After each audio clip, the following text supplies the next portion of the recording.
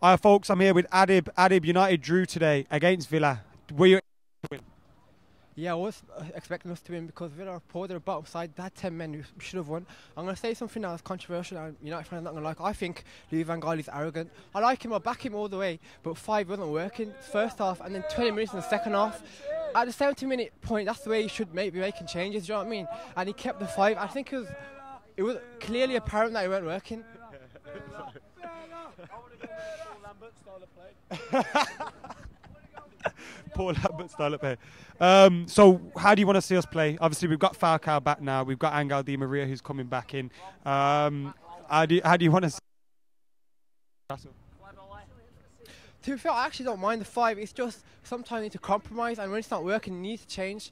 I actually, like, I'm actually a big fan of the five, a lot more than uh, most of the United fans. But I just thought it should have changed 70 minutes after in the game. How do you want to see us line up against Newcastle then? I think Januzaj should be given a chance. I think two wingers, Fer- Ferguson, style, Ferguson style. Do you know what I mean? I think two wingers should be good, Jay. Man of the match? Everyone was poor, but as customary, Carrick was amazing again today. Excellent. Thank you, Adib. Nice one, yeah. Cheers.